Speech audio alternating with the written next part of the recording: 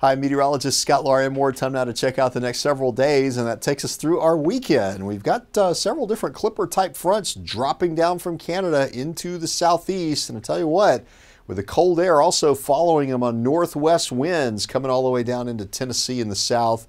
We've got some snow around here across parts of uh, the Carolinas, up into Virginia, even northeastern Georgia mountains, even a few snow flurries deep down into uh, northern metro uh, Atlanta suburbs here early Saturday morning. Going to be a blustery cold weekend across a large chunk of the east.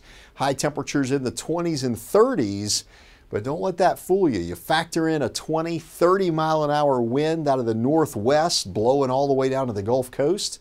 It's going to be a blustery cold weekend. Sunday's going to be cold also across the south. In fact, we've got a hard freeze watch across some parts of the deep south early Sunday morning. High temperatures generally in the 20s and 30s across the northeast, 30s and 40s down across the deep south, and even cool weather here in Florida, Orlando, a high of 58 on Sunday. Some of the coldest numbers we've posted so far this season heading down into the deep south.